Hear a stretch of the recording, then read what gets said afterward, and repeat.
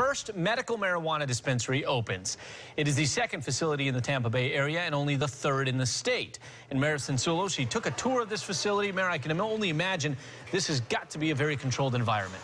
Yeah, it is. It's not like anyone can just walk in and buy marijuana, and any doctor can't prescribe it. Doctors must be certified by the Department of Health, then added to the state's Office of Compassionate Use Registry.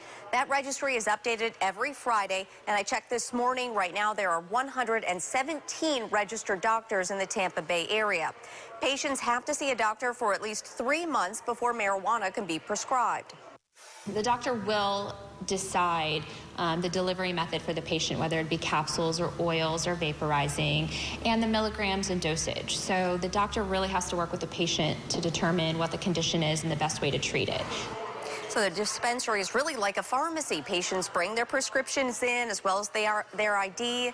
They're escorted through a secure door to pick up their meds. And there's also an option for an at-home delivery. It is estimated 100,000 Floridians will be eligible for medical marijuana by the end of the year. And that includes children who are often prescribed CBD, a non-psychotropic. The dispensary is on North Dale Mabry Highway in Carrollwood.